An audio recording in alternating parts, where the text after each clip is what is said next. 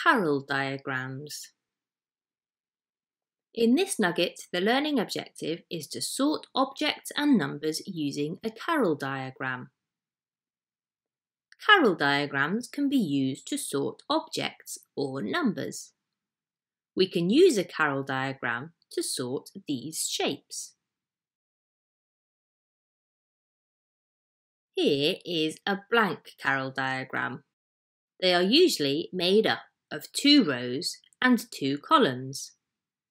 The heading of each column goes at the top and the heading of each of the rows goes at the side. The objects or numbers can be sorted into the four main sections. Before we sort these shapes into this Carroll diagram, we'll start simply by sorting the shapes into two categories. Here we just need two main column headings. Less than four sides and four or more sides. Now we can begin to sort the shapes. The square has four sides and the pentagon has five sides. So they both need to go in the column under the heading four or more sides. The circle has one curved side and the triangle has three sides, so they both need to go in the column underneath the less than four sides heading.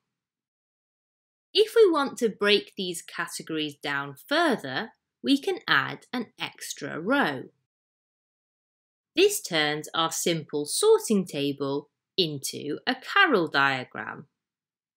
We now need to give the rows a heading to categorise the shapes further. Some of the shapes are blue and some of them are pink. So we can create a row for the blue shapes and a row for the pink shapes. Only the blue shapes can be in the blue row and only the pink shapes can be in the pink row so we need to move some of the shapes. The triangle needs to stay in the less than four sides column, but it needs to move to the pink row. And the pentagon needs to stay in the four or more sides column, but it also needs to move to the pink row.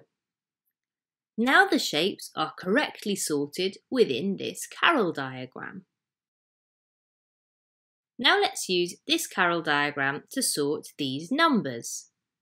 The column headings are less than 20, greater than 20, and the row headings are odd and even. Let's start with the number 2. First, we need to work out which column it should go in. 2 is less than 20, so it needs to go in this column. Now we need to find out which row it should go in. 2 is even, so it should go in this row. So now we can move 2 into place. Now let's move on to 23. 23 is greater than 20 and it's odd, so it must go here. Now for 12. 12 is less than 20 and it's even, so it must go here. Now it's your turn to sort 50, 17 and 51 into the Carroll diagram. Pause the video if you need to.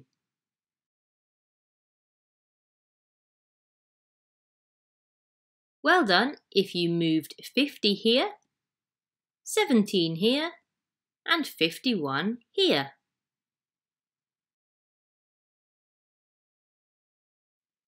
Now it's your turn again. Have a look at this Carroll diagram. One of the numbers has been sorted incorrectly. Which number is in the wrong place? Pause the video and have a go.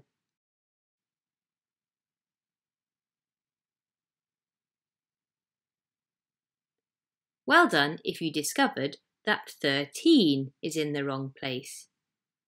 13 is less than 15, so it's in the correct row, but it's not a multiple of 3, so it's in the wrong column. It should be in the not a multiple of 3 column. Now it's correct. Well done if you spotted it. So remember, Carroll diagrams can be used to sort objects or numbers. Make sure that each object or number is sorted into the right column and row. Remember, columns go down and rows go across.